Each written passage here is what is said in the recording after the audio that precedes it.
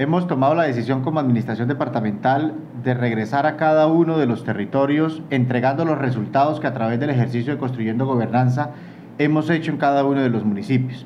Iniciamos en Puerto Rondón. Allí vamos a anunciar la adjudicación de un proyecto que le va a cambiar la, hora, la, la, cara en términos de urbanismo al municipio de Puerto Rondón. Conecta desde donde termina la entrada de la Virgen hasta el Malecón. Es un proyecto que supera los 11 mil millones de pesos y que ya el día jueves 25 de mayo se hará la adjudicación del proyecto y por eso vamos a ir con el equipo de Construyendo Futuro nuevamente en los recorridos de Construyendo Gobernanza, mostrando los resultados más importantes que cada uno de los territorios tenemos como administración departamental que entregarles.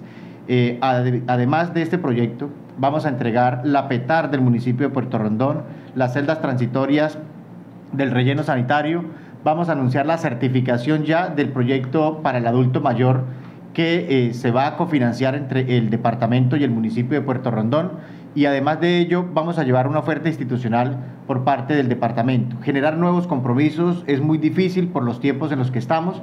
Este ejercicio nuevo de recorrer el departamento a través de Construyendo Gobernanza va a ser de entrega de resultados de esos compromisos que en la primera ronda de Construyendo Gobernanza hicimos por todo el departamento de Arauca. También vamos a estar visitando la vía Tame Puerto Rondón, que gracias a esta administración se desentravó eh, en términos administrativos este contrato y que hoy tiene un avance significativo que nos permite mostrarle a la ciudadanía que esta obra en el menor tiempo posible la vamos a entregar. En el caso específico, gobernador, justamente de esa obra que se ha venido solicitando por las comunidades, ¿ya se concreta la culminación que está pendiente? Eso es lo que vamos a revisar lo que nos han informado la interventoría y la supervisión es que hay un avance significativo en los dos kilómetros que faltaban de pavimento.